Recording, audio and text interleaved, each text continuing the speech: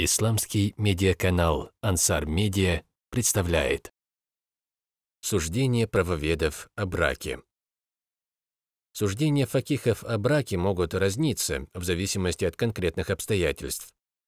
Так, например, когда кого-либо охватывает сильное желание удовлетворить свою страсть, вступление в брак считается обязательным ваджиб, поскольку в противном случае мужчина может совершить прелюбодеяние.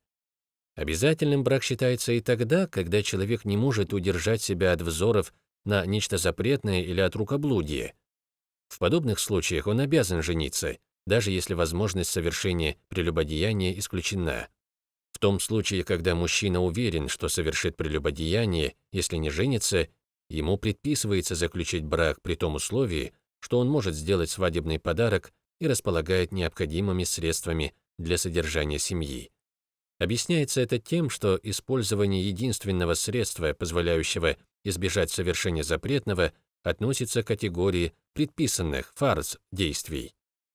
Тот, кто боится совершить прелюбодеяние, но не может сделать брачный подарок, обязан взять деньги в долг. Аллах Всевышний поможет ему вернуть его. Сообщается, что пророк, саллиллаху алейхи вассаляма, сказал, «Аллах обязательно поможет желающему рассчитаться мужчине, который хочет вступить в брак и сохранить целомудрие, передали имамы Термизи, Аннасаи и Ибн Маджа. Таким образом, вступление в брак относится к действиям категории сунна муаккада, которые следует совершить по примеру пророка, алейхиссаляту вассалям. Однако в таких случаях, когда можно опасаться, что, женившись, мужчина станет проявлять несправедливость по отношению к своей жене и притеснять ее, Вступление в брак рассматривается как крайне порицаемое действие.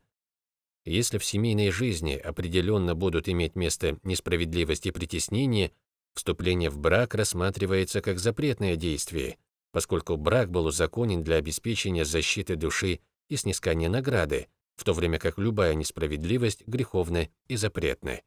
Это значит, что пагубного в таком браке будет больше, чем полезного. В обычных условиях вступление в брак лучше, чем полное посвящение себя дополнительным молитвам нафиля и другим видам поклонения. Имам Ахмад сказал, удаление от мира не имеет с исламом ничего общего, а тот, кто призывает к отказу от вступления в брак, призывает не к исламу. Наши праведные предшественники считали отказ от брака достойным порицания и побуждали неженатых к вступлению в брак. Так, например, один сподвижник сказал другому, ты непременно должен жениться. А не то я скажу тебе то же, что Умар сказал Абу Заваиду. Причиной невступления в брак может быть немощность или распутство. Однако некоторые факихи считали, что полное посвящение себя поклонению Аллаху лучше, чем вступление в брак и забота о жене и о детях. Люди, придерживающиеся такого мнения, приводили в качестве довода тот аят, в котором Аллах Всевышний воздал хвалу Яхье, мир ему, Ангелы возвали к нему, Закарии, «Поистине, Аллах возвещает тебе благую весть о Яхье, который будет господином, мужем целомудренным и пророком из числа праведников и подтвердит истинность слов от Аллаха». Коран, сура 3, аят 39. Из этого можно сделать вывод о том, что если бы вступление в брак было лучше, то Яхья не удостоился бы похвалы за отказ от брака. Тем не менее, Наиболее предпочтительным следует считать первое мнение, поскольку в Коране и Сунне есть множество указаний на достоинство брака, и некоторые из этих указаний были озвучены нами выше.